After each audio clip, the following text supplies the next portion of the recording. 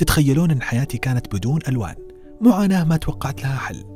إلين دلوني على عيادة الدكتور حنتيرة للعيون بجدة. انتهزتها فرصة وقلت ضروري أروح للعيادة. وبعد الفحص شخصني الدكتور إني مريض عمى ألوان. إيه عمى ألوان؟ رقم كام؟ ما مش قاشع مش شايف. وركب لي عدسات عمى الألوان. واو. وانتهت معاها مشكلة عيوني وصرت أشوف الحياة بألوانها الطبيعية.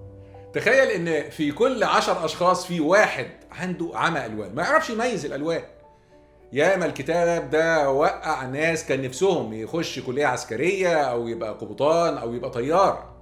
دلوقتي وحدة علاج عمى الألوان. في عياده الدكتور محمد حنتيره في جدة. العلاج متوفر في صورة نظارات وعدسات متخصصة للعلاج ده.